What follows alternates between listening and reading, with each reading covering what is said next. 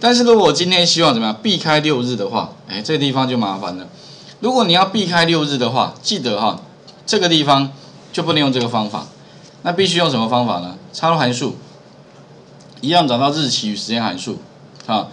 那这个日期与时间函数里面的话呢，那你可以找到里面有一个叫。其实能够呃查工时，这边有一个叫 network days，不过它回来的是一个数目，回来是几天。比如说你两个日期相差几天，那这个工时里面呢，它会帮你避开六日。如果有国定假日，你也可以给它一个国定假日的表格，它也会帮你避开六哎那个国定假。那这个所谓国定假日哈。指的是你自己定的，比如说你们公司或者你自己定的有某些天你不上班，你那个部分你也可以把它加进去，它也帮你避开就对了哈。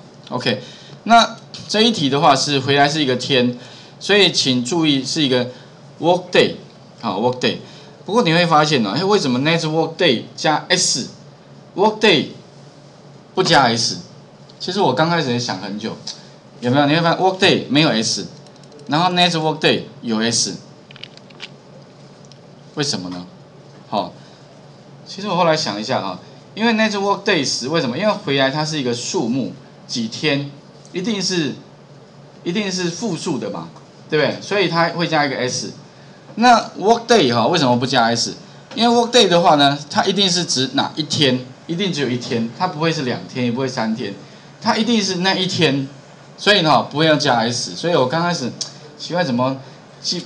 这为什么有加 s 跟没加 s 哦？我想原因应该是在这里了哈。不不过这也是顺便提一下，因为常常记不起来为什么这个有 s 那个没 s 哈。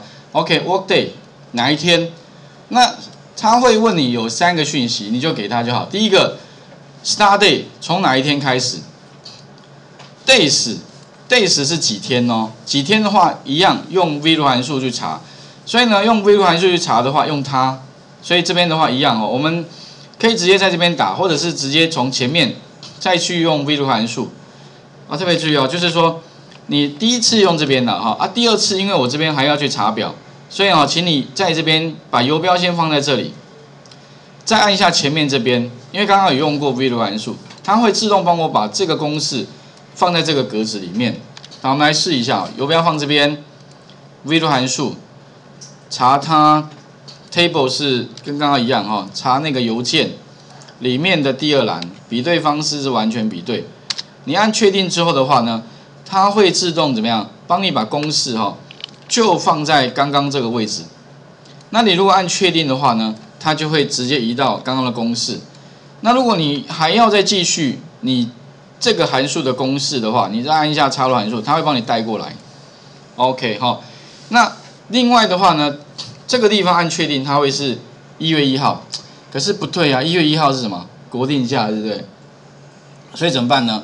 请你哈，可以先在旁边或者其他地方打一下二零一五，我是一月一号是放假，然后再来是一月二号也放假，再来还有哪一天啊？不过因为你们可以自己查了，反正行政院的那个人事行政局都有公布。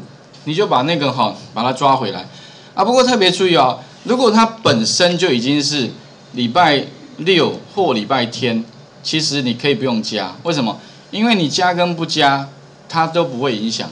它会影响的是一到五而已。所以如果那个国定假日本身就是礼拜六、礼拜天，除非它有补假，不然的话哦，你可以不用列了。OK，好，这个是一个原则。